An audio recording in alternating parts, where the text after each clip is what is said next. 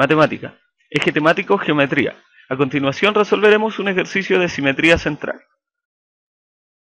¿Qué es simetría central? Una figura tiene simetría central si al hacer pasar una línea por su centro, los puntos se equidistan de ese punto centro.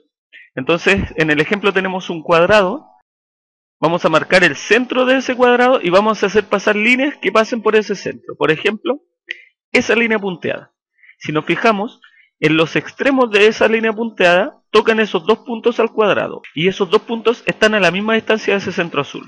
Si hacemos pasar otra línea como esa, lo mismo sucede con esos dos puntos en los que toca al cuadrado. Si hacemos pasar otra línea, por ejemplo esa, esos dos puntos negros donde toca el cuadrado están a la misma distancia del centro, etcétera. Si lo hiciéramos con todas las líneas que pasen por el centro, en todas los puntos en los que toca el cuadrado equidistarían del punto centro. Eso es simetría central.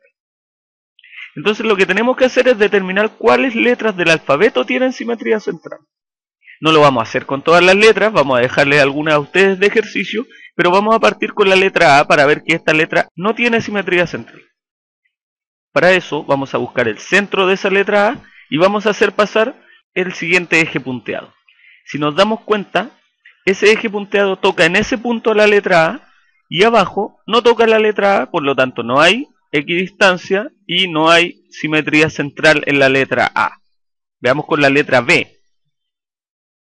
Buscamos el centro de la letra B, tiramos ese eje, nos fijamos que en ese punto toca la letra B y abajo en ese punto toca la letra B. La distancia desde el centro hasta ambos puntos es la misma, pero pasará para todos los ejes.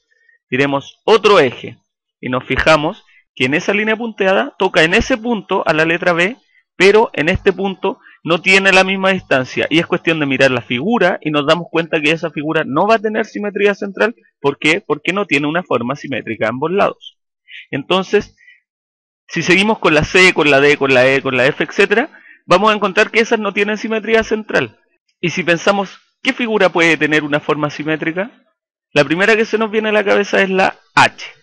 La H nos fijamos que tiene una forma más o menos simétrica, entonces vamos a ver si en realidad tiene simetría central.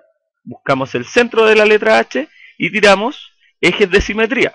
Si nos damos cuenta, ese primer eje está equidistando todos los puntos de H desde un extremo hasta el otro. Vamos a tirar otro eje, esa diagonal, y si nos fijamos el punto en el que toca arriba está exactamente a la misma distancia al punto en el que toca abajo tiramos la otra diagonal y si nos fijamos sucede lo mismo, el punto en el que toca arriba la letra H está exactamente a la misma distancia del punto que toca abajo a la letra H. Y si siguiéramos tirando líneas punteadas que pasen por el centro, seguiría pasando lo mismo y por lo tanto esa H tiene simetría central.